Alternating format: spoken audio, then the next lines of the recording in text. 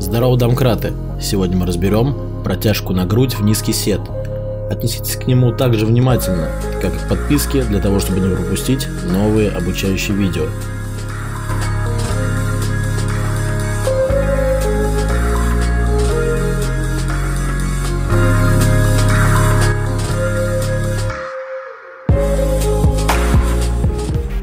Данное упражнение при правильном выполнении с небольшими весами приучает к правильному подвороту локтей и к привычке встречать штангу на той высоте, куда она вылетела, то есть нарабатывается чувство снаряда в пространстве.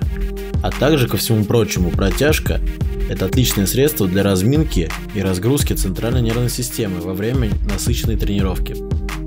Протяжка на грудь выполняется в двух вариантах – в стойку и в низкий сет.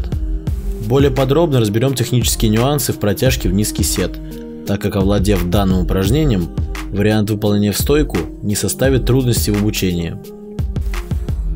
Итак, в обоих вариантах стартовое положение хват такие же, как в классическом взятии на грудь. Первое. Примите стартовое положение, при котором создается накрытие, то есть проекция плечей на помост, впереди проекции грифа.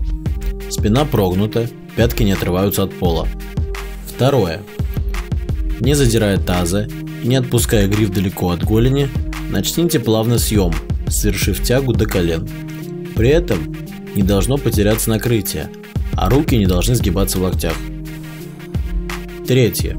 После того, как гриф во время тяги проходит колени, не прижимая штангу к бедру, как в обычном взятии на грудь, сразу подворачивайте локти и одновременно сделайте подсед под штангу в низкий сет, плотно встретив снаряд на груди. Четвертое. Используя реактивные силы мышц, то есть отбив, встаньте из низкого седа на прямые ноги.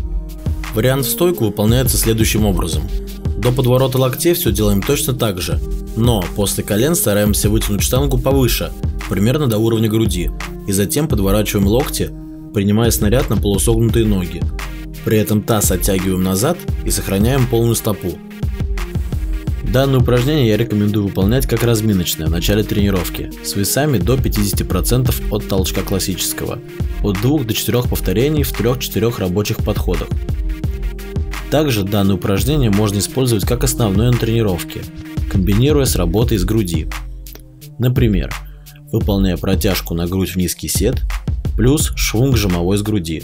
В данном случае веса могут достигать до 60% до двух повторений в подходе – трех-четырех рабочих подходах. Благодарю вас за просмотр, друзья. Надеюсь, видео было полезным и интересным для вас.